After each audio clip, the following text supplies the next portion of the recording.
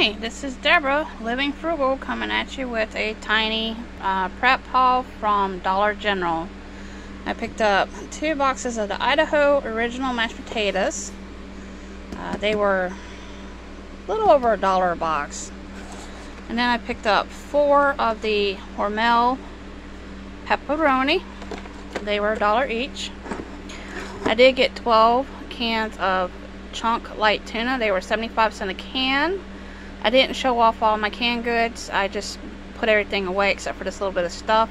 But this was going to go to my cat because I didn't realize it was, um, or somehow it got dented on the way home. So my cat's going to enjoy that. And I got the Wyler's Light Peach Iced Tea, which is not bad flavor. And then I found these. I'm going to put one in each of my um, bug out bags because, you know, coffee person's got to have her coffee. But these were a dollar. Nescafe Dulce. And then, of course, with coffee, you gotta have some creamer. I've never seen these before. These were a dollar each as well. I got two boxes of the hazelnut. They did have French vanilla.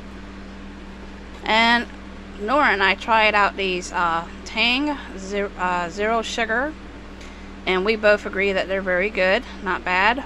It's six packets in a box for a dollar each. So I picked up two of those. And I picked up two of the Kraft Spaghetti Classic Tangy Italian.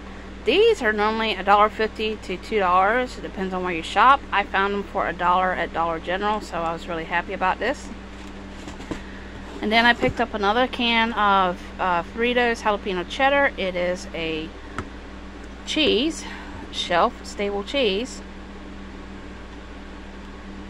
As you can see, I didn't look at my dates on it. It expires in December, but I'm not worried about that because the husband sees this, it won't last long.